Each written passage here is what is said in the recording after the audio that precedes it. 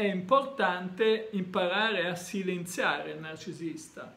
Ehm, quindi bisogna riconoscere i segni distintivi del comportamento narcisistico, maligno, le sue conseguenze sulla tua vita emotiva, ma anche sulla tua vita in generale.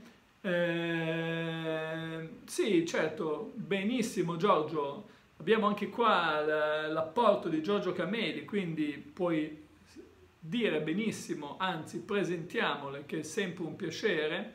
E, e quindi dobbiamo quindi imparare a gestire confini sani nelle relazioni con i narcisisti maligni, sviluppare delle strategie per rafforzare l'autostima, il senso di identità, riducendo l'impatto, diciamo, che in qualche modo comunque ci sarà delle manipolazioni narcisistiche. Quindi imparare anche a liberarti emotivamente da una relazione narcisistica costruendo una vita appagante.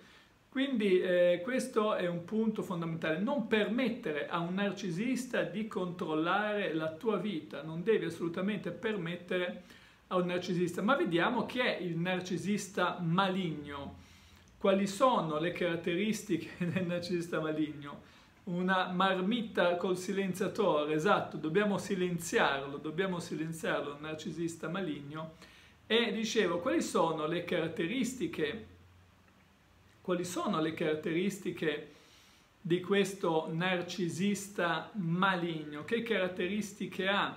Come si differenzia rispetto al narcisista normale? Beh, intanto il termine maligno evoca le immagini di un individuo eh, diciamo così, diabolico, ma ripeto, il diavolo non ha nulla a che fare con il narcisista maligno, anche perché eh, nel, nell'immaginario il diavolo viene presentato come negativo, ma in realtà, come vediamo anche dalla Bibbia, insomma, non c'entra niente, non ha con nulla a che vedere con l'aspetto religioso. Il narcisista maligno rappresenta semplicemente un sottotipo estremo di narcisismo, caratterizzato sia da eh, tratti di personalità narcisistica sia da comportamenti antisociali.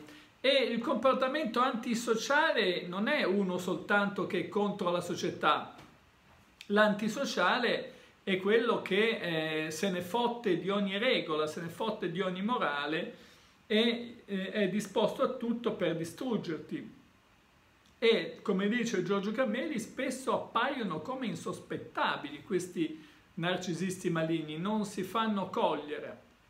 Quindi hanno sicuramente un senso di grandiosità eccessivo, smisurato, hanno un senso smisurato di arroganza. L'arroganza del narcisista maligno supera soltanto eh, la sua anaffettività, diciamo, quindi eh, è veramente una roba abominevole. Poi utilizzano non soltanto la manipolazione, ma anche lo sfruttamento. No? Quindi il narcisista maligno non soltanto ti manipola per appunto esigenze narcisistiche, ma perché cerca proprio di sfruttarti danneggiandoti. No? Eh, quindi il narcisista maligno è quello che se può ti fa fare degli eh, come dire, investimenti sbagliati. E, e apparentemente può presentarsi come l'opposto, no? come dice Giorgio, apparentemente può presentarsi umile, empatico, altruista, affabile, esatto, seduttivo, esatto, esatto, eh, aperto alla socialità, eh, bravo Giorgio, brillante, scaltro, curioso, sono tutte caratteristiche che può manifestare, ma in realtà eh, la base è una, è, un, è una combinazione tra un'assenza totale di empatia e di un comportamento antisociale. Eh, l'assenza di antipatia è in comune a tutti i narcisisti. Il comportamento antisociale è rappresentato da, eh, ad esempio, abusi che può fare, mancanza di rispetto per i diritti della società in genere, delle persone in genere. Quali sono le dinamiche del narcisista maligno? Beh, eh, crea delle dinamiche relazionali distruttive che hanno un impatto significativo nella vita delle persone coinvolte e includono eh, il ciclo dell'idolatria e della svalutazione, cioè il narcisista maligno alterna no, tra idealizzare e svalutare, ma svaluta pesantemente, svaluta anche cercando di danneggiare. Um, inizialmente anche loro idealizzano la loro vittima, lode, ammirazioni, per poi umiliarla, no? E, e l'umiliazione non diventa neanche più un'umiliazione sottile, ma diventa anche un'umiliazione palese. Sembra di aver incontrato un incrocio tra Einstein e il principe azzurro.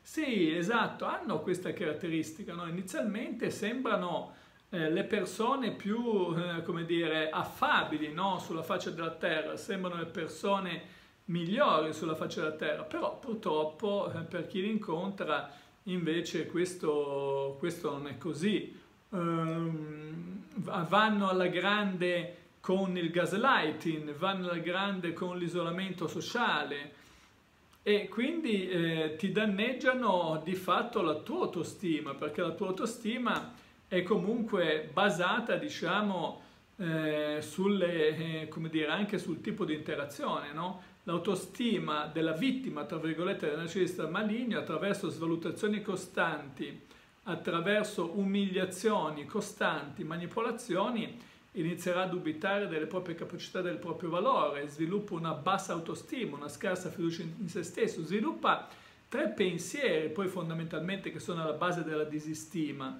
E questi tre pensieri sono il pensiero, eh, come possiamo dire, mh, mm, sono il pensiero eh, di incapacità, cioè essere incapace, il pensiero di essere impedito, di non riuscire a superare gli ostacoli il pensiero di essere sfortunato. Quindi eh, il narcisista maligno ti tradisce, eh, usa il sarcasmo, il giudizio, l'accusa, esatto, sono tutte strategie maligne fondamentalmente, no? che non è più soltanto avere il controllo, ma il voler danneggiare no? e nel godere nel danneggiare le altre persone. Ovviamente il karma sarà un karma estremamente nefasto, però ehm, questo è, quindi dobbiamo imparare a proteggerci dal narcisista maligno. Tra l'altro eh, uno dei problemi è che le persone che hanno a che fare con il narcisista maligno iniziano a sviluppare problematiche emotive, no? disturbi dell'umore, talvolta dormono poco, sono ansiosi, stressati, eh, depressi, quindi la manipolazione mh, costante, diciamo, genera delle ferite profonde fondamentalmente, genera anche dipendenza emotiva, no? Perché a causa della manipolazione subdola, direi, del narcisista maligno, le vittime possono sviluppare dipendenza nei confronti del narcisista stesso, la paura di perdere l'amore, perdere l'amore che non c'è mai stato, o l'approvazione, perdere l'approvazione può portare la persona a restare intrappolata in una relazione tossica. Eh, quindi questo è, se uno ha un problema, una frase che dice tre denti e sotto sotto che ci sta bene. Esatto, esatto, hanno un po' questa modalità. Ma adesso vediamo quali sono le frasi che devi dire, ma soprattutto dire a te stesso, perché queste 15 frasi che andremo a vedere sono frasi che devi dire sì, ma dire soprattutto a te stesso, altrimenti svilupperai dipendenza emotiva, la paura di perdere l'amore, svilupperai la paura della, del giudizio del narcisista e questo ti farà restare intrappolata o intrappolati in una relazione fortemente tossica, no?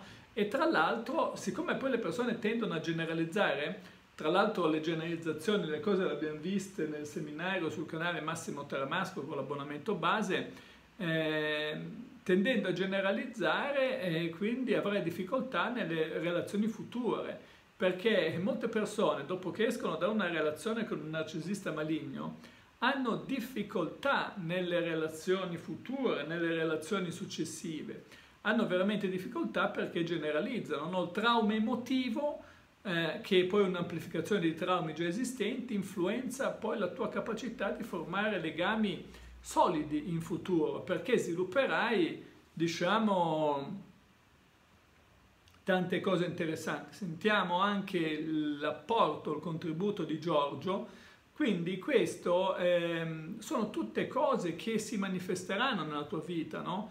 Ehm, eh, Cristina Studio cura la moglie di un signore che è uno degli autori della canzone Perde, ah, Perdere l'amore, quello di eh, Massimo Raniero. Ogni volta che viene a studio mi ammazzo di risate, dico un'altra canzone, Perdere l'amore, quando si fa sera quando tra i capelli, noi meno nel caso, un po' d'argento li colora, Massimo Ranieri, perdere l'amore. E comunque eh, la paura di perdere l'amore è una delle cose più importanti, no?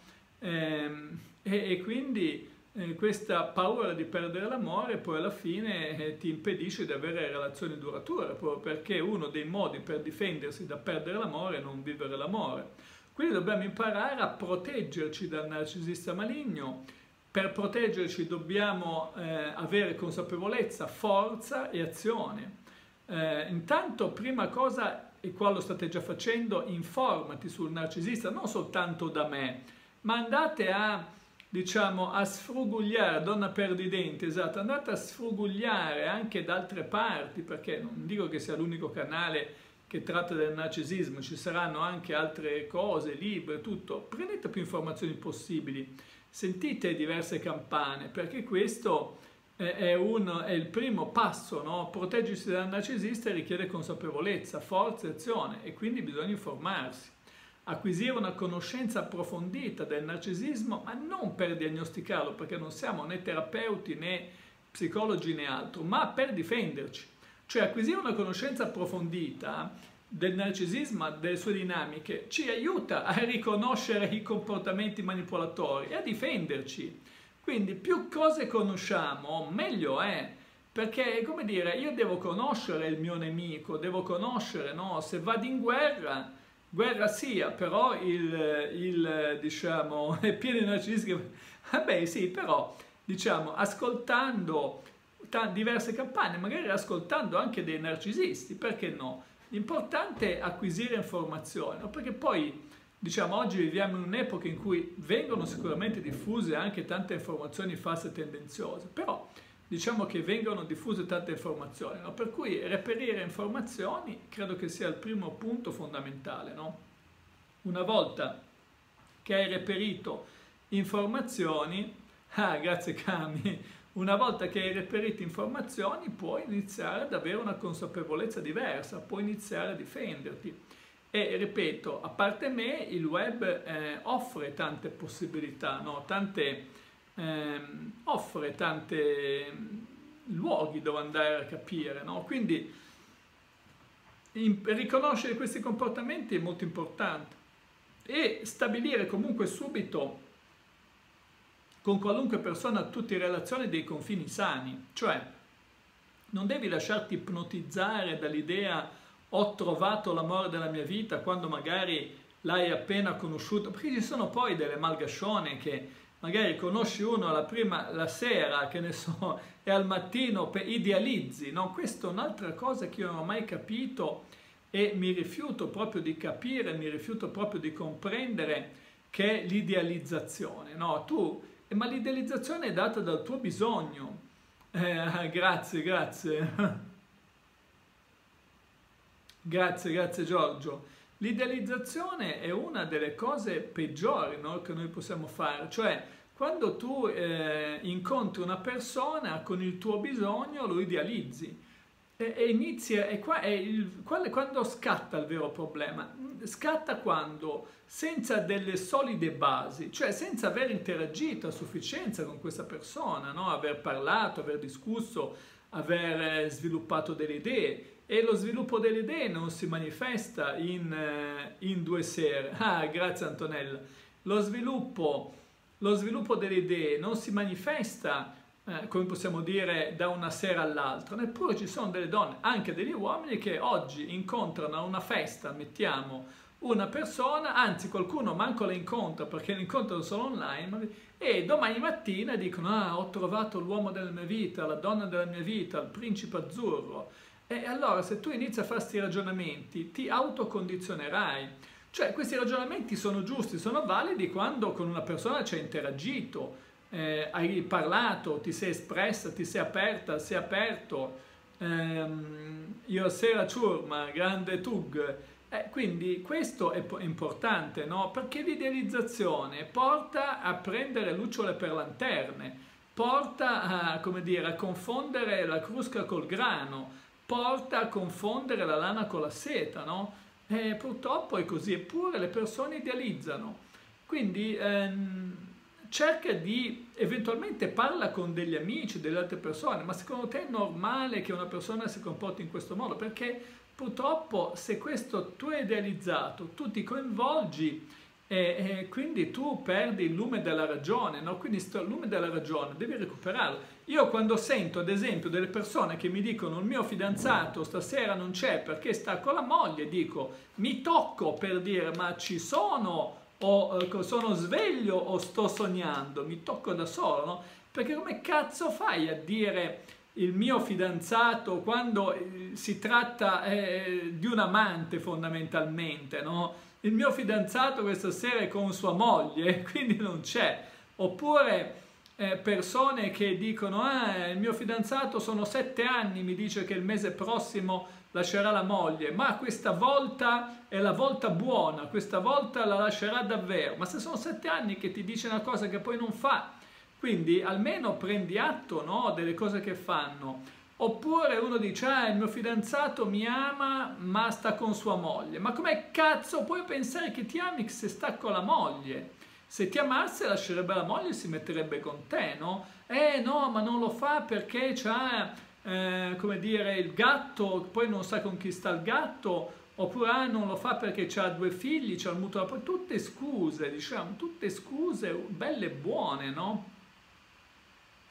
Eh, nella testa dei familiari resta, eh, se avesse capito, esatto, esatto, eh, se avesse capito a fondo la situazione eh, se ne sarebbe andata o avrebbe chiesto aiuto.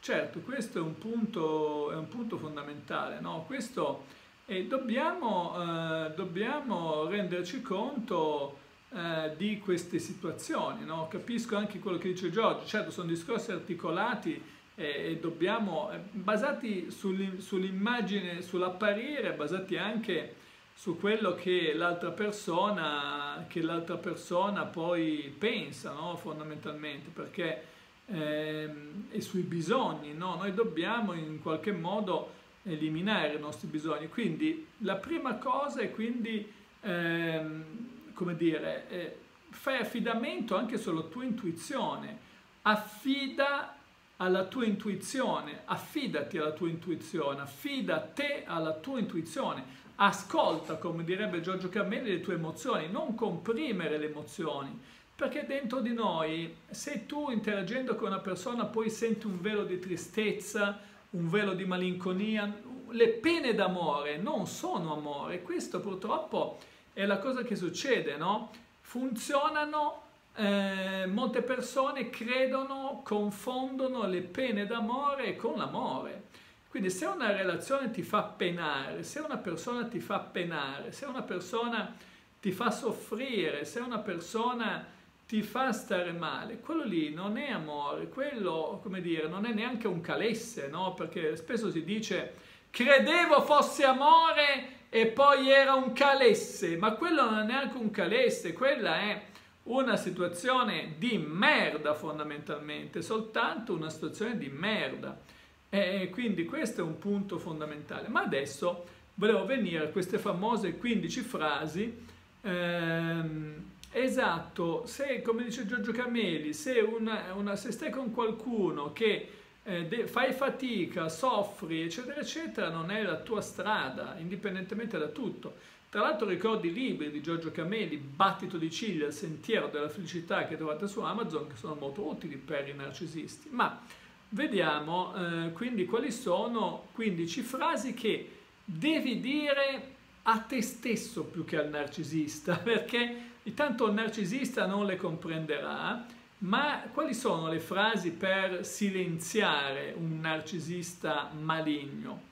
Eh, esistono delle frasi che secondo me eh, devi dire soprattutto a te stesso, puoi dirle anche a lui, a te stesso, a te stessa, devi assimilarle. La prima è questa, mi rifiuto di permettere che tu definisca il mio valore, cioè io valgo, cioè devi mettere in chiaro, ma soprattutto a te stesso, non devi permettere che un altro definisca il tuo valore, mi rifiuto, perché dillo anche a te stesso, o a te stessa è fondamentale. Mi rifiuto che tu definisca il mio valore.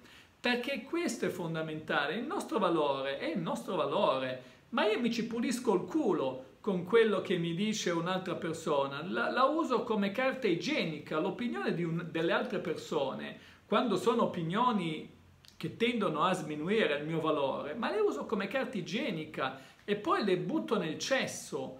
Eh, quindi eh, questo non devi permettere che nessuno definisca il tuo valore. La seconda cosa non devi più accettare le tue manipolazioni, non accetto più le tue manipolazioni. Anche questa è un'affermazione che devi dire a te stesso.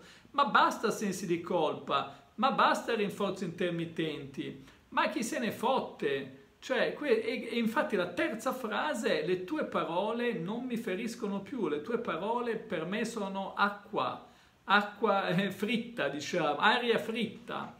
Eh, devi essere consapevole che eh, le parole del narcisista non ti devono assolutamente ferire.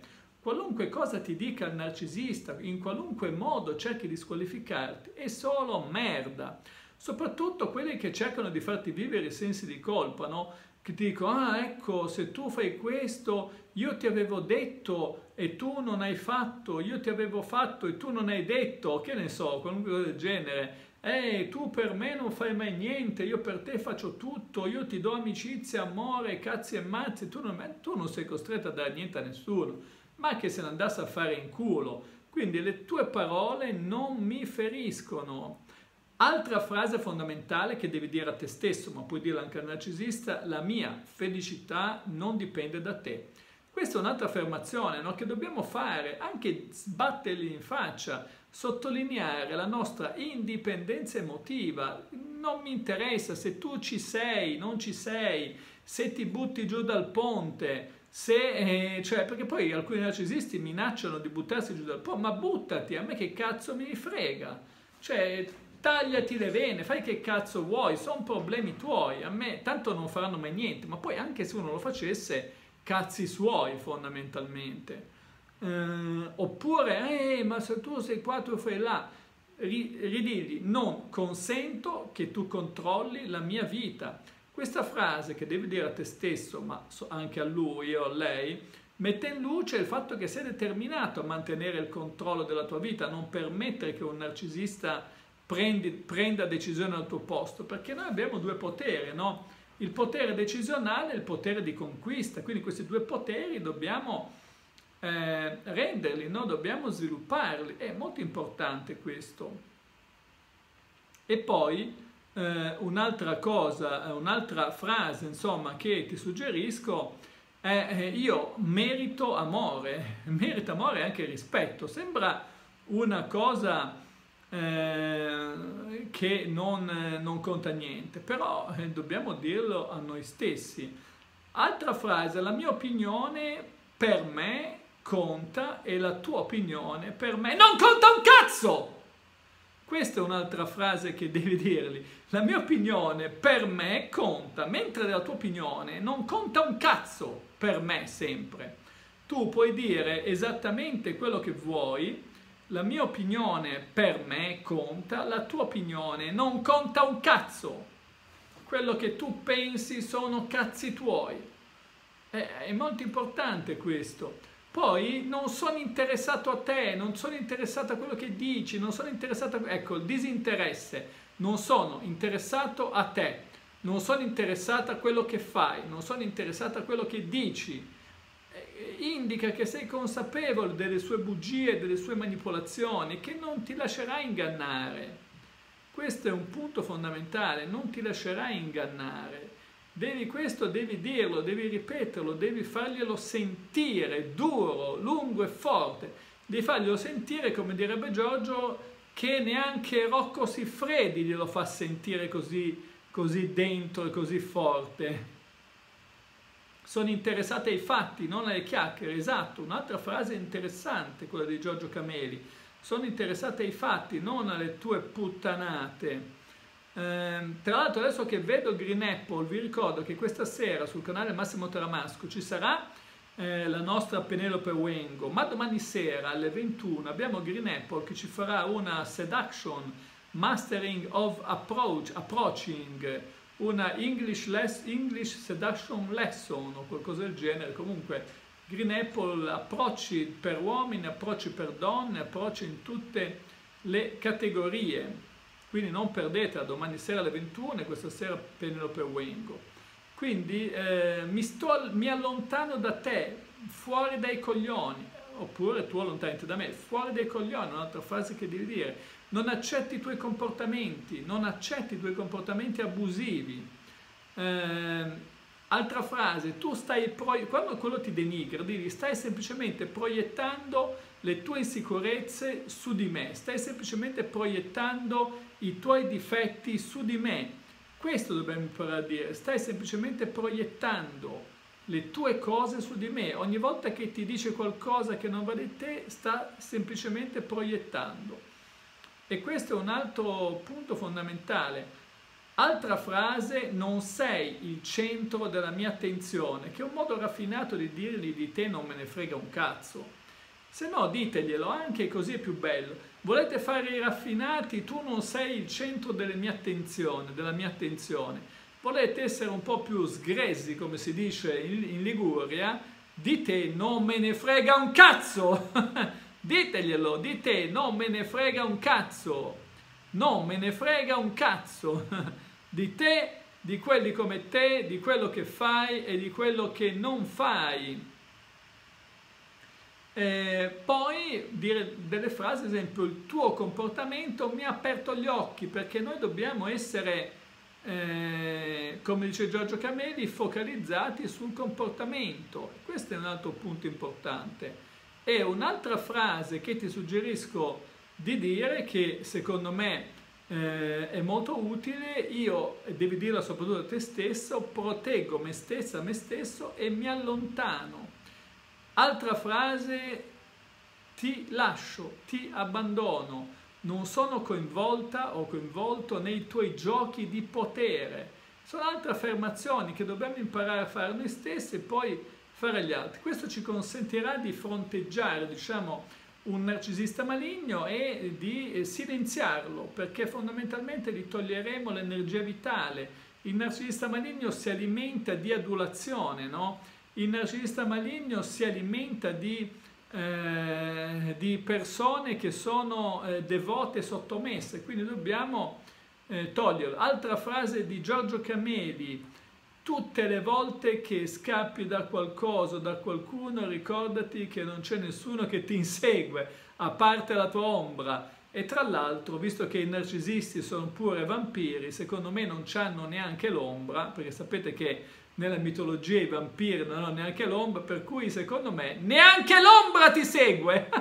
questa la approfondirei, questa frase che ha detto Giorgio, prima ho spunto di dire stai tranquillo che a te non ti segue neanche la tua ombra, neanche la tua ombra vuole sapere, vuole sapere te, anzi farò uno short su questa perché grazie Giorgio mi piace questa frase, a te non ti segue neanche la tua ombra.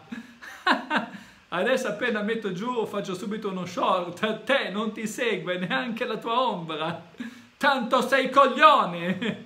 Uno short appena metto giù. A te non ti segue neanche la tua ombra, tanto sei coglione. Va bene, va bene. Detto questo, mettete in atto queste frasi e vedrete che riuscirete a togliervi dai, dalle palle il narcisista, riuscirete a togliervi dalle palle il narcisista